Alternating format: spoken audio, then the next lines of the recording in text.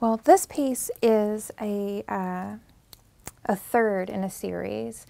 It started out as the idea of a gemstone that I held in my hand and I felt that it seemed like a utensil. And so I, I was working with it and, and felt that it seemed more like a paintbrush than anything. And I sort of have a, a fascination with paintbrushes and their tie-in with arts and the arts. And when I was younger, uh, everyone that knew that I was artistic would give me paintbrushes as a gift, even though I've never painted. And so I, I like to tie that into some pieces, and, uh, and that was really where it started.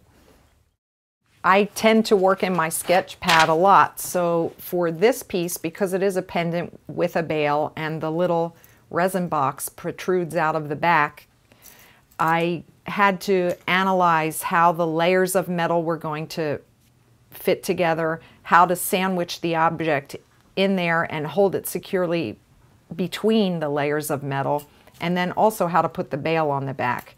So for, for this, I would, you know, I would design the way that it looks from the front first. So I came up with this little birdcage motif.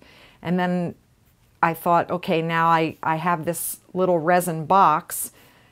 This is the one I started with to, to see if the resin would even stay in the box, and it did. So once I discovered that, I thought, well, how am I going to hold it without soldering because it's recycled metal? So I came up with the little flap design, and I knew that if I drop that through an opening, these flaps would, would hold it in that hole like that. So then I had to go to the side. So here's the top layer of metal with the, this part is here. So we go across. So here's the top layer of metal. There's a window here to see the bird. Then the resin box sits in there with the flaps like this.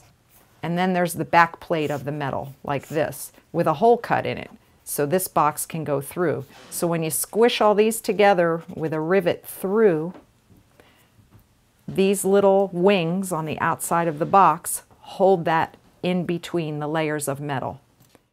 The clay itself doesn't weigh and it doesn't have to be solid clay. We can ho easily hollow out the clay mm -hmm. elements so that um, we can get sort of a volume and a, a, sense of abundance or something spilling out without um, a lot of physical weight. Yes but I definitely try to I try to give the illusion of a lot of metal without really right. laying it in there because I can we can back things, we can give nice heavy edges, you know, take some wire and, and rim something so right. that it feels the edge is nice and beefy and not thin, but you can get away with a much thinner sheet than 18 gauge.